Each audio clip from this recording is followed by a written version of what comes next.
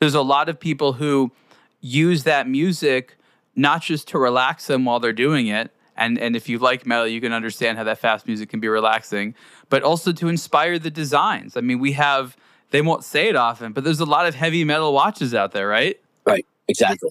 Yeah.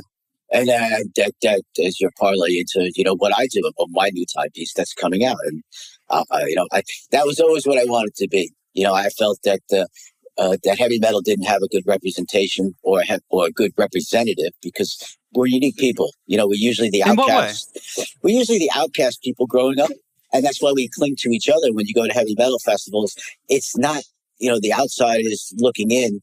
Uh, well, actually, they they kind of get to see it a little bit now because Metallica's gotten so big, but we're a loving group of people that stick together. And because we're the outcasts,